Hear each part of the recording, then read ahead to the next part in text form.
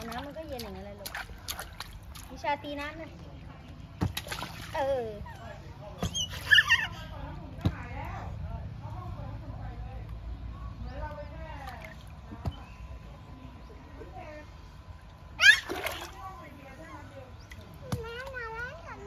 โอ้ยแม่ไม่ได้เอาชุดมาเลย